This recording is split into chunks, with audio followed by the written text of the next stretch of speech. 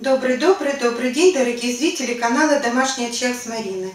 На протяжении долгого времени я выхожу в эфир для того, чтобы дать вам видео задания, видеосоветы по организации своего дома, уборки в своем доме и моя женщина. Но вот сегодня я хочу продолжить с вами видеобеседы и посоветовать о маленьких таких штучках, которые помогут нам в организации уборки, может быть, ну в данном случае кухни.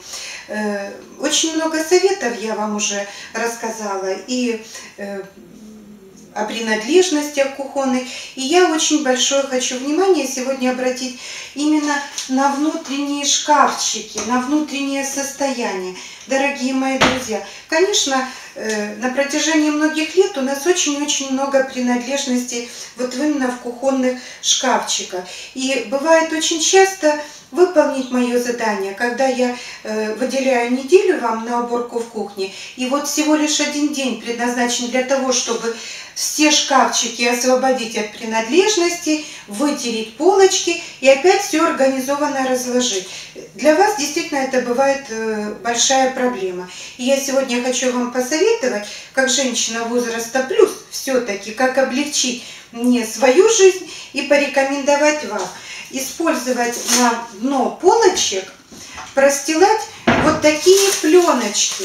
Конечно, вы можете использовать и вот такую красивую лощеную бумагу. Но где же ее взять? А взять ее можно со старых календарей.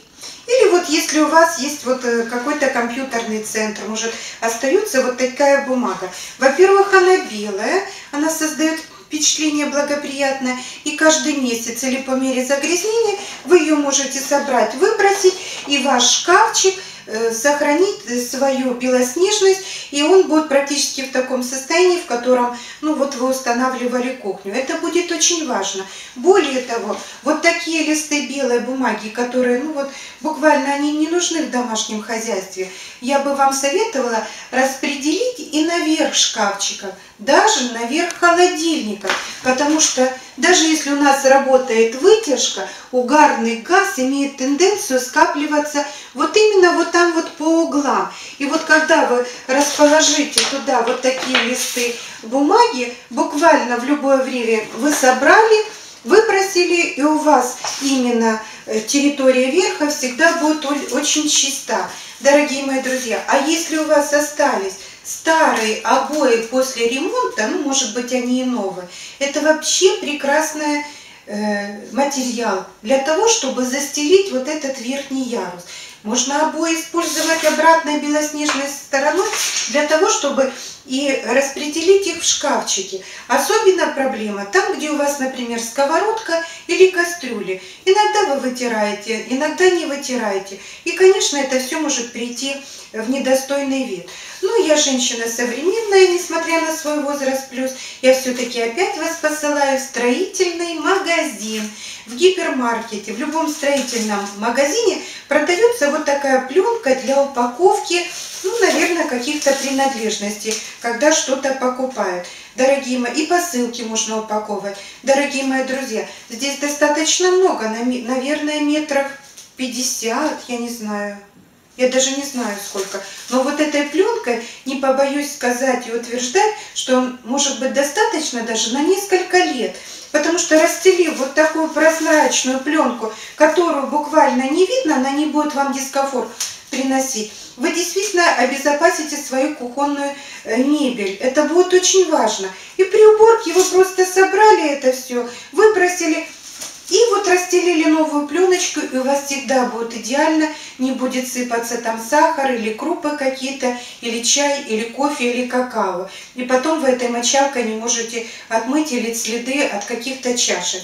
Дорогие мои друзья, такая пленка очень хорошо используется и в холодильнике. Сейчас холодильники современные. Если у вас решетка, конечно, полочка, это не подойдет. А если у вас стекло или пластик, простелив, посмотрите, она по ширине подходит полочки, вы в холодильнике всегда будете иметь стерильную чистоту. вы раз в месяц или по мере необходимости убрали эту пленочку, и вот этот рулон вам даст просто жизнь, поверьте мне. И вы очень быстро вместе со мной займетесь домашним хозяйством и организуете себя. Поэтому все-таки я призываю вас купить в строительных магазинах вот такая пленочка. Ну, а если у вас нет какой-то возможности, или у вас действительно есть вот такая красивая лощеная бумага, или обои достаточно деликатные, свежие, презентабельные, скажем так. Только вы не выкладываете вот этой цветной стороной, чтобы было видно. Вы расположите так, чтобы вот белоснежная сторона была к вам лицом. Поэтому э, пленочку очень хорошо отрезать обойным ножом. То есть вы по размеру померили, отрезали и закрепили, она приклеивается и очень хорошо. Вот такой небольшой совет, дорогие мои друзья, я сегодня хотела с вами поделиться, для того, чтобы помочь вам организовать себя и облегчить уборку в вашем и в моем доме. Спасибо, что вы были со мной. Ставьте класс, если вам мои видео советы интересны. Подписывайтесь на мой канал, и мы не потеряем друг друга.